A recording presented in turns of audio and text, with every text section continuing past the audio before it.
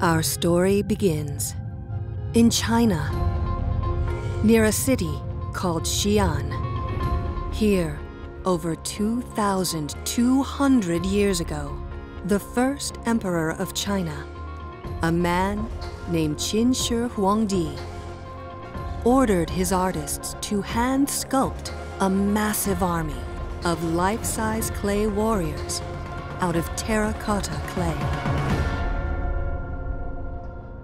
He buried the army in underground pits near his tomb for his protection in the afterlife.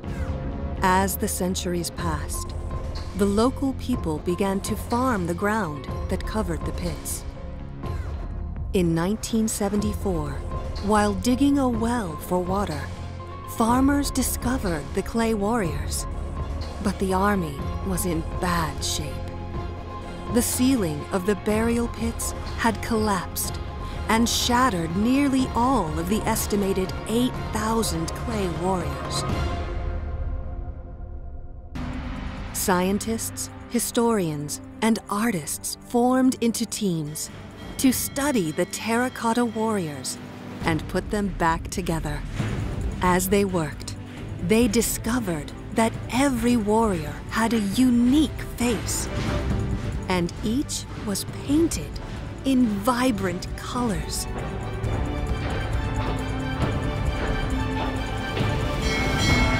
History tells us the emperor ordered the construction of his tomb and clay army when he was only 13 years old.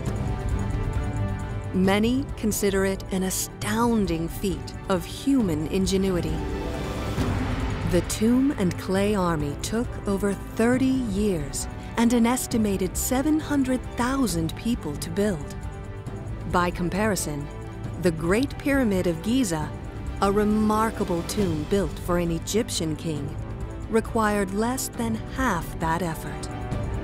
After the first emperor died, the clay army was sealed in its pit and almost forgotten. Now, after more than 2,000 years, you can see the warriors as they once were. Welcome to Terracotta Warriors, the Emperor's painted army from China's Shaanxi province.